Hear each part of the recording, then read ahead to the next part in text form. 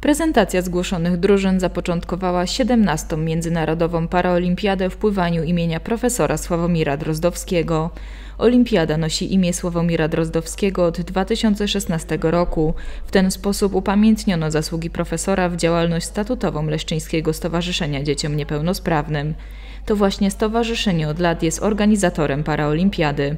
Współorganizatorem była Państwowa Wyższa Szkoła Zawodowa w Lesznie. Paraolimpiada od lat odbywa się na pływalni Międzyszkolnego Ośrodka Sportowego w Lesznie. Pływacy rywalizowali w kategorii niepełnosprawności intelektualnej w stopniu lekkim oraz kategorii niepełnosprawności somatycznej, grupy dyspanseryjnej osób słabosłyszących i niesłyszących.